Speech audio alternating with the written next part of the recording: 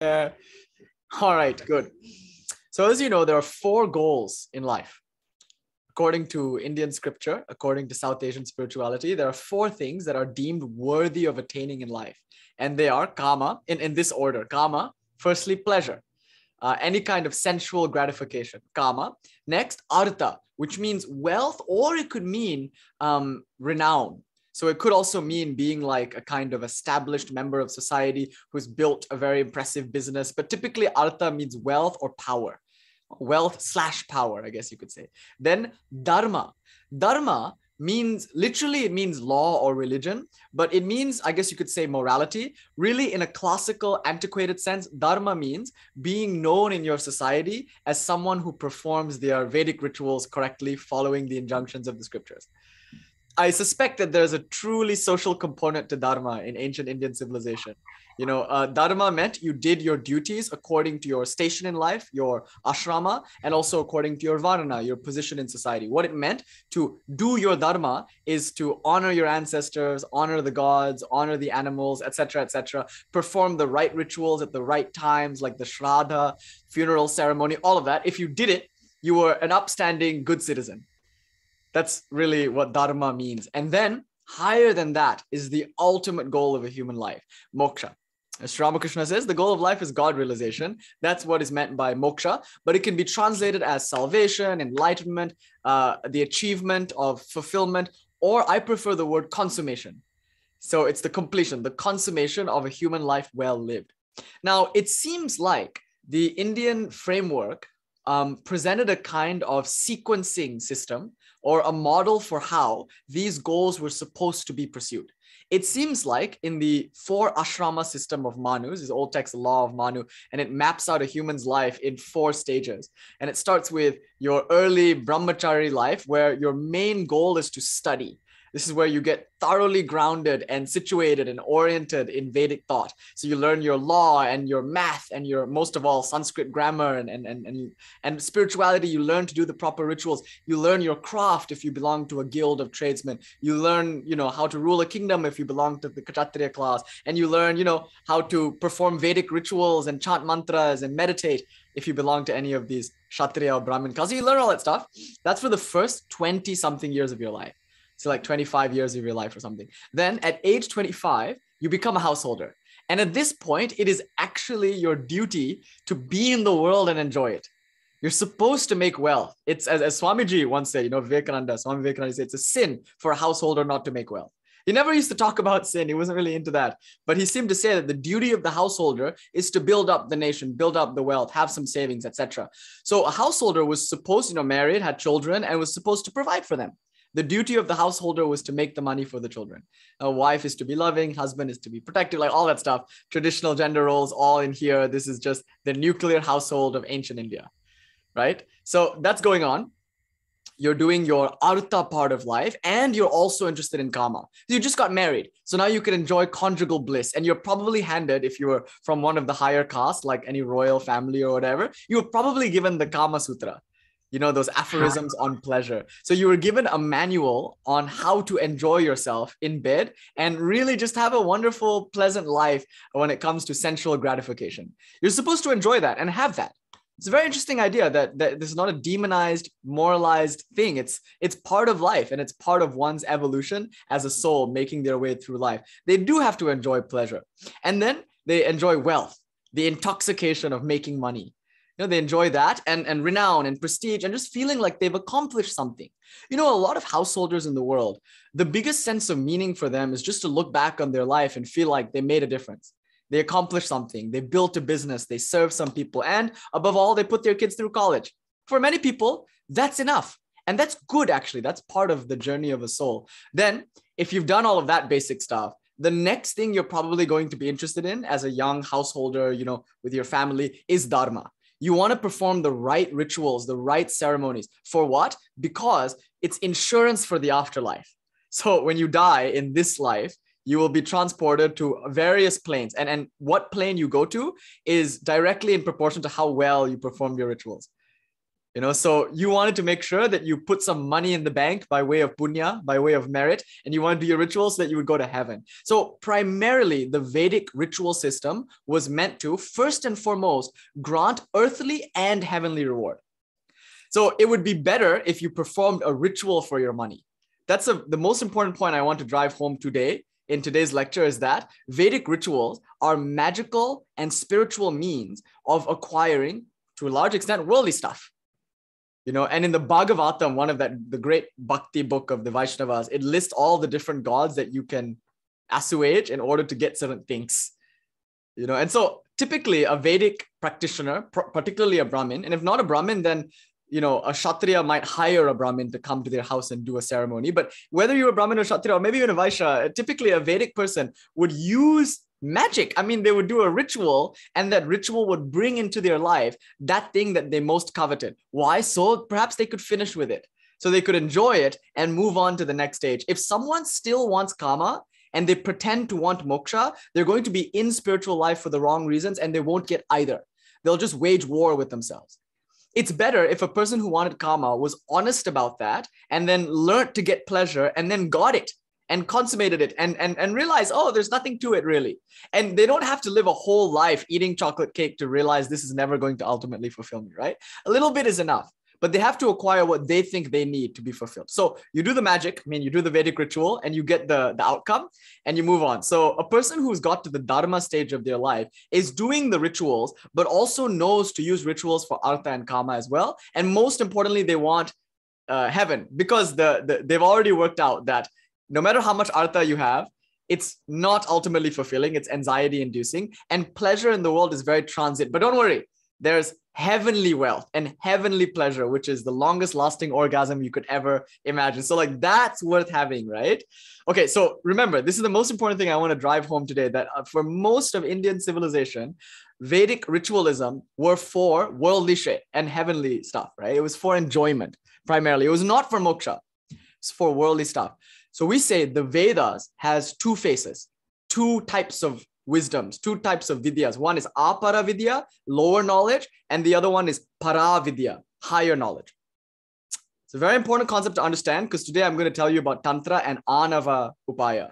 Know, we're going to talk about Anava Upaya, but to understand Anava Upaya, which is the last thing we need to talk about in our list of four tantric categories of practice, I must first harken back to the Vedas and explain this principle, which is First, you have in the Vedas what is called the Karma Kanda, the portion on rituals, and that is predominantly an apara vidya. Not to say that it's bad, it's just immanent knowledge, knowledge about immanent things. And by immanent is also meant heavens, by the way. Heavens aren't yet the transcendental plane, they're still immanent. The, the, the term immanent includes all sorts of realms of subtle experience. So, anyway, vidya, knowledge pertaining to the immanent reality, is called apara vidya. But there was another kind of knowledge in the Vedas, and it's called Paravidya, the higher knowledge, the transcendental knowledge. And as a result, you get two types of schools of Indian philosophy, one of them concerned with ritualistic activity, and the other with this higher knowledge. The first is called Purva Mimamsa, and the second is called Uttara Mimamsa, also known as Vedanta. The second type of Indian, Indian practice is called Vedanta, and it's mostly Gnostic, philosophical, and contemplative. And it's interested not in Dharma, not in Artha, not in kama, but in Moksha, the final consummation of a human life. But it presupposes that you have by now sussed that out for yourself that you've gone through the whole range of kama, artha, dharma, if not in this life, then in a previous life. But at some point, you had to have tasted the chocolate cake and asked for something more. You know, so that is called the paravidya. So if you read like Vedantic texts, particularly non-dual Vedantic texts, you'll see a lot of karma kanda bashing, or at least what looks like karma kanda bashing. You know, like for instance, in the Bhagavad Gita, they make fun of rituals in, many places, right? They're like, what will you achieve by mere ritualism, stuff like that. Uh, know me alone to be the, the whole ritual, the performer, the offering, all that. And then in, in Shankara, more than anything, you hear this kind of karma bashing. You can't do good works to get into heaven. Who wants heaven anyway, right? So Swamiji said, I've come not to teach you to go to heaven. I've come to teach you to stop wanting to go to heaven. And of course, we can have a long conversation as to why heaven is not valuable. In short, it's because anything that starts will end. So even if it's a longer lasting pleasure, it still has an expiration date. And many people who have enjoyed heaven come back and now want something more than heaven, which is moksha. You know? Okay, so um, you'll see a lot of bashing, like Shankaracharya saying, Jnana alone will free you, not karma. Karma is not the opposite of ignorance. Jnana is, as we described last night. And so you get this sense, and this is the danger, you get this sense that it's wrong to want kama, artha, and dharma, and it's right to want moksha.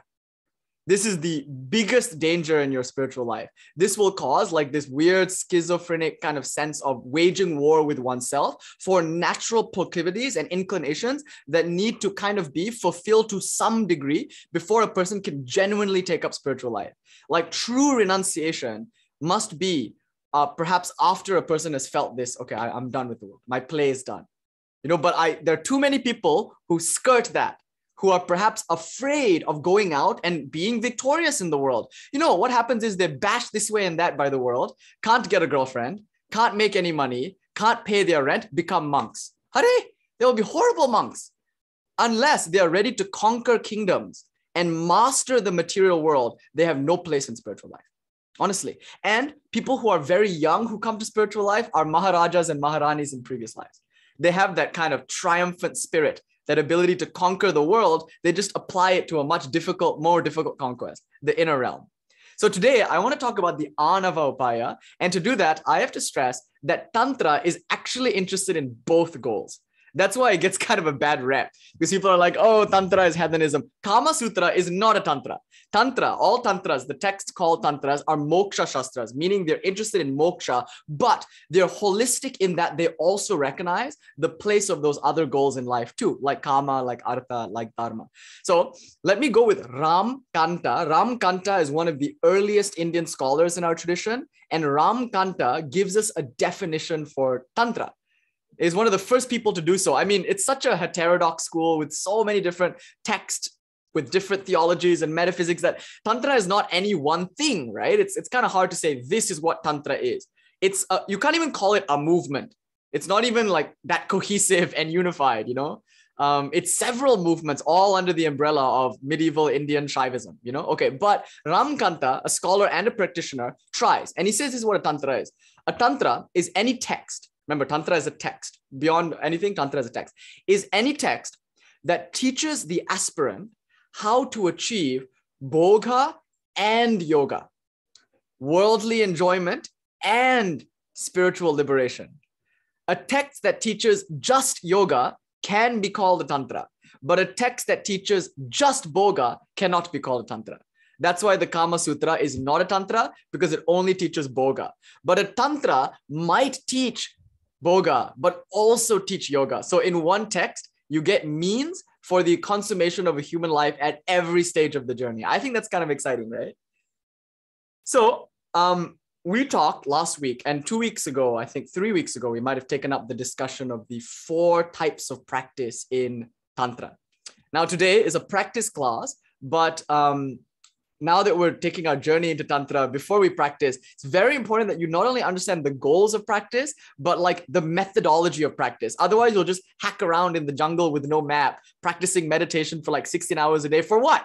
You know you won't you won't even know it when you have it if you don't know what it is you're looking for so we we do a lot of talking because now is not really practice time. You can do that on your own right?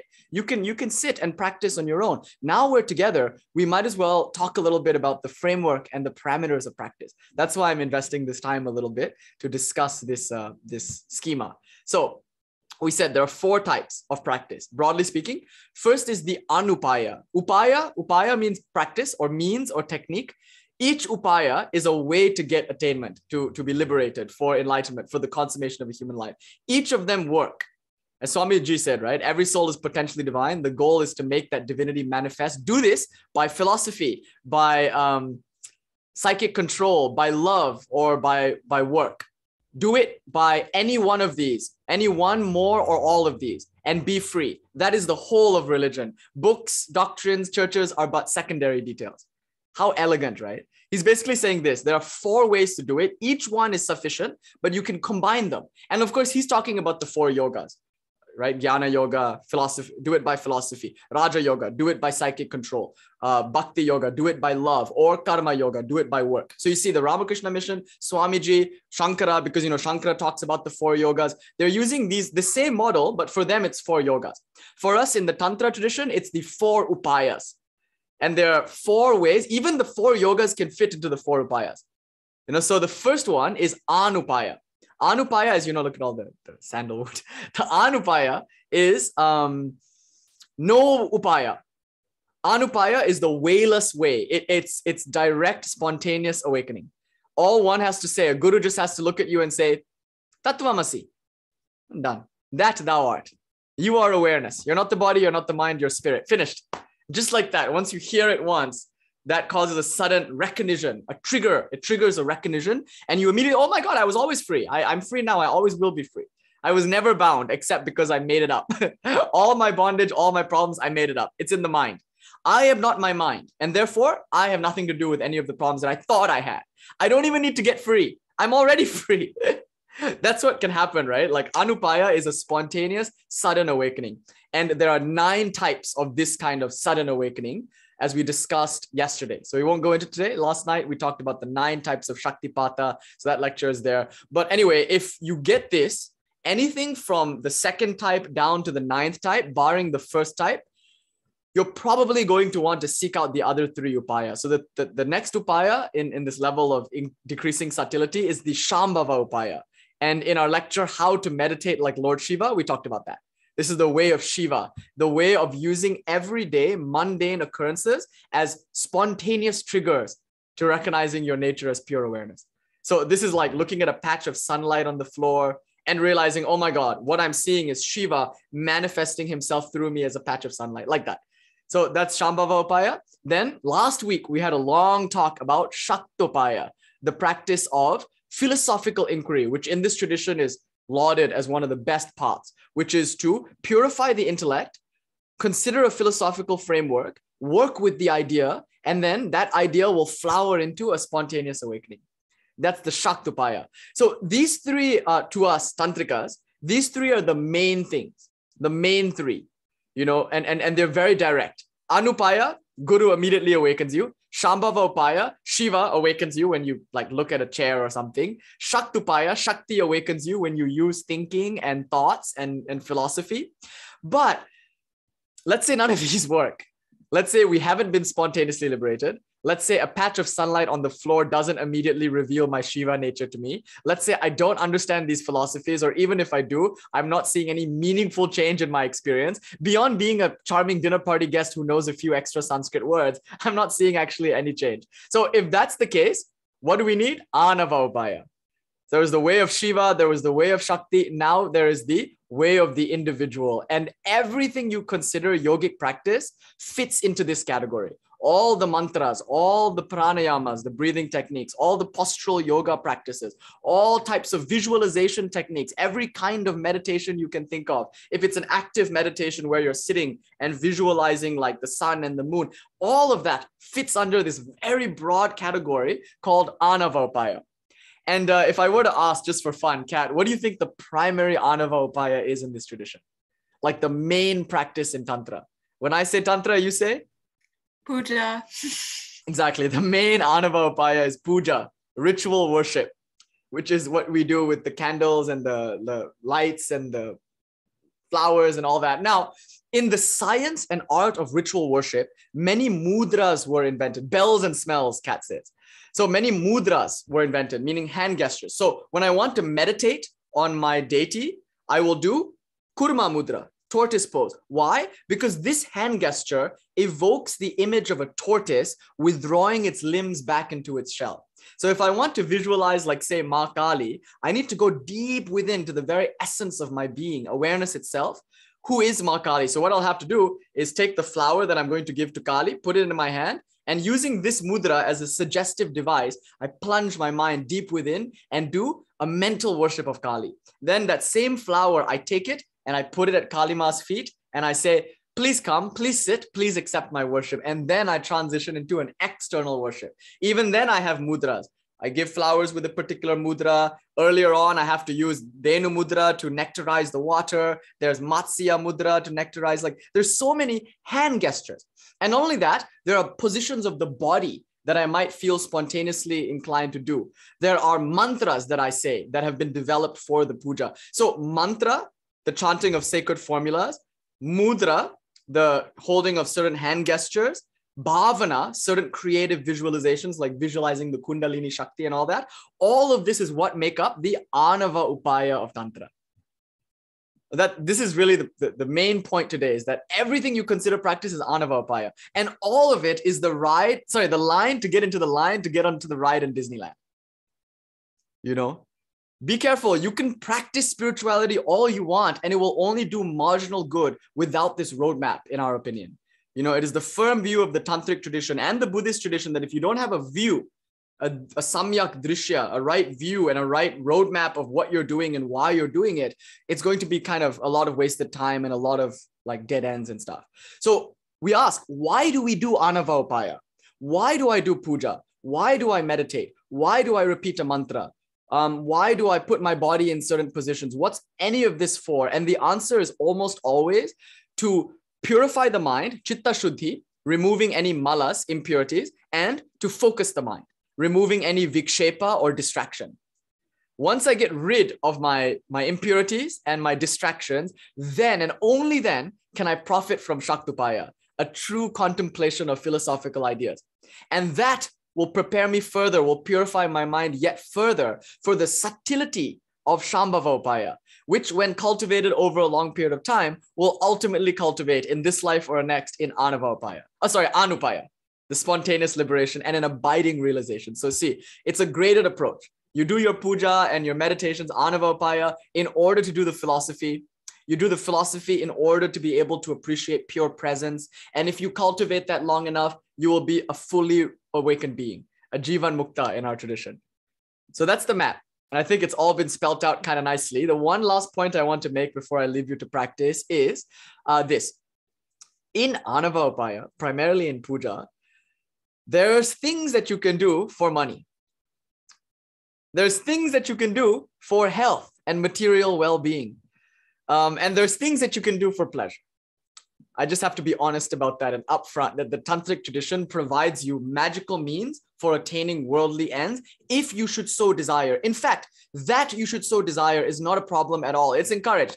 Last night we talked about why, right? The metaphysics of Tantra is this world. You know, in some traditions, you say this world is a bridge. It's a debased place. It's a bridge. Cross it quickly. Tantra says the same.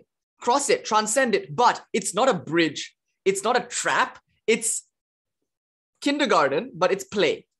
This world is play. It's like a Montessori for children. You're supposed to have fun here. Kali specifically congealed this world and entered into it as every plant, animal, and person to play, right? So it's kind of weird that you would deny her her play of pleasure, wealth, and, and ritual if that's what she wanted at that stage in your life. And so she's provided us with these tools for those things. So I'm going to give you a few mantras, not initiation. I'm just like suggesting a few mantras that um, do worldly stuff. Um, and they're not necessarily uh, uh okay let me just give you one and show you show you why it's it's a tantric mantra. So here's one right? It's called the maha mrityunjaya mantra. Many of you know it. Um, om triambakam yaja mahe sugandhim pushti vardhanam urva urva urva rukka bandhanan मृत योर ओम त्र्यंबकम यजामहे सुगंधिम उर्वा उर्वारुकम विबंधम मित मुक्षियम। I I am typing it now I am forgotten it ओम त्र्यंबकम यजामहे सुगंधिम पुष्टि वर्धनम उर्वारुकमे वबंधनन मृत्योर मुक्षीयमामृतात्। Right, okay, so this mantra um it's called the maha mrityun jaya mantra. And you can of course just like google it maha mrityunjaya mantra so it's a very important mantra to demonstrate what it is we're talking about today. So it is a tantric mantra in the truest sense, although it comes from an Upanishad. And, and, and that's the thing. A lot of people think Tantric is non-Vedic, but no, no, a lot of our mantras are Upanishadic mantras. A lot of them come from the Taittiriya Upanishad. This one is like old, like a Rig Veda mantra, right? It's an old, old mantra, and it's associated to Shiva. That's the first thing that makes it a tantric mantra. Tantra, as you know, is a tradition that emerged within Shaivism. So already, because this mantra is associated to Shiva, already it's got a tantric flavor. Secondly, the reason it's tantric is because it has a worldly and a spiritual benefit. So if you get Swami Shivananda's Japa Yoga, for instance, this incredible book on the recitation of mantra by one of the greatest Himalayan masters to have ever lived, in Japa Yoga, he opens with this instruction: do the Triambagam, do Mahamrityunjaya like some 10,000 times on your birthday or something like that. And he says, if you do it, you'll get great health. And I was told by some masters to do it when I sit in a cave.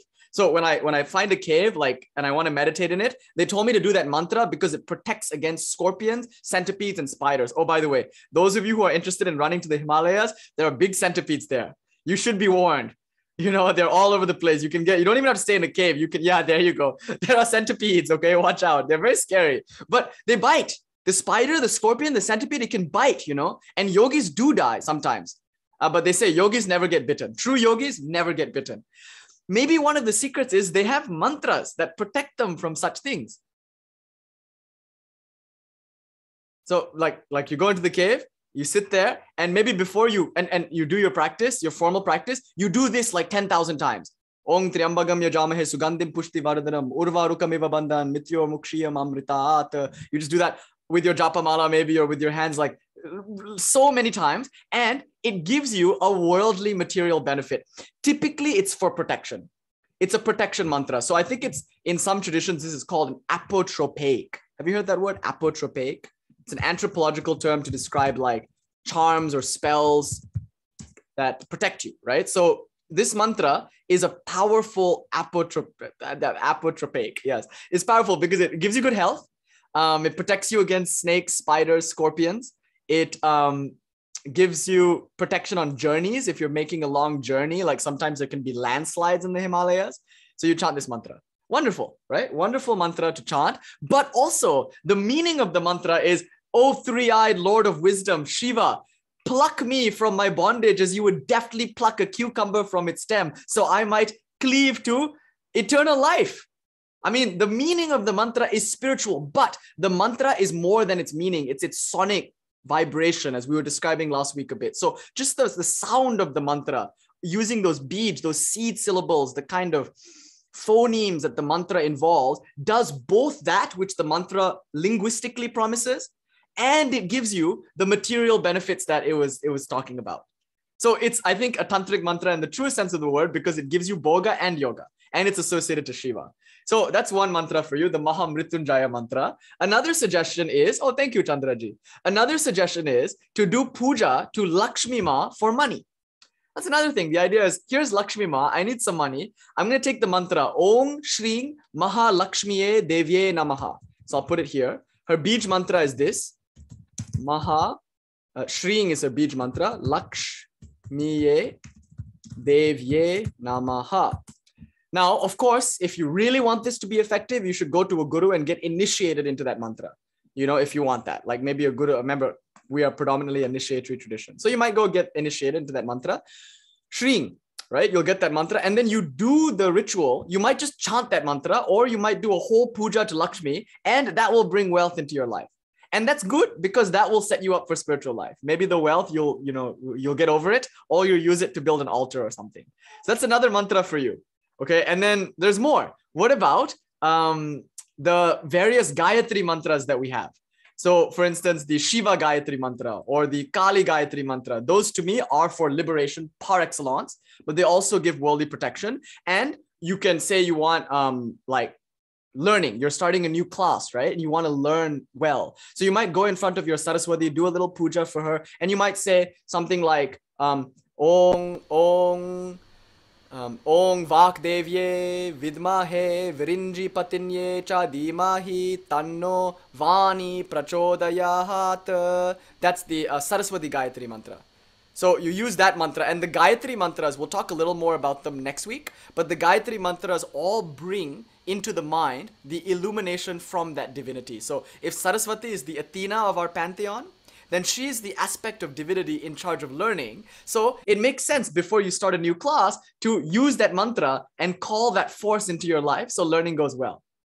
So that's a Saraswati mantra. Then there's a Lakshmi mantra, that Gayatri mantra. And my favorite ones are, of course, the Shiv mantras. Om Tat Purushaya Vidmahe, Mahadevaya Dimahi, Tanno Rudra Prachodayat. Kali mantra, Om um, Kring Kalikaye Vidmahe, Smashana Vasinye Cha Dimahi, Tanno Gaurye or Agora Prachodayat. These you can go Google, you know, you can find them on the internet. Kali Gayatri, Shiva Gayatri mantra, Lakshmi Gayatri mantra. Today we're not going to go into the mantras. I just want to sketch out for you the kind of approach and Anavapaya.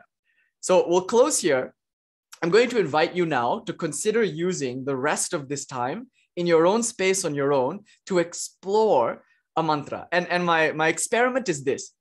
You can go on the internet and find a mantra, a Gayatri mantra of any deity that particularly appeals to you. Then for the rest of this time, learn the mantra, memorize it by heart, and then chant it. Either chant it aloud or better yet, upamshu, whisper it, or even better, mentally recite it. Right? So do this mental recitation of the mantra over and over and over and over and over again. If you have a japa mala, do 10 rounds of 10 rounds of that japa mala, at least. Okay. You have to do it a lot. For this to work, you have to do the mantra a lot. Maybe the puja can work if you do it just once, but typically a mantra, you got to do it a lot. If not all through the day, at least for a, a good chunk. Okay. So take any mantra, Gayatri mantra, the regular Gayatri mantra, or Shiva Gayatri mantra, um, Lakshmi Gayatri, whatever you want. And then for the rest of this time, and you probably will finish 10 rounds by the end of the class, honestly, if you just kind of know the mantra, you do it. Now, my game today is next week, let's talk about if the chanting of the mantra altered your reality in such a way that the presence of that deity was made more manifest. So maybe if you're chanting a Shiva mantra, you might see more homeless people or you might like notice more cremation grounds or that vibe will come. Or if you're doing a lakshmi mantra maybe you'll get a check. I don't know. Or maybe you'll feel more beautiful or someone will compliment you on your dress or something.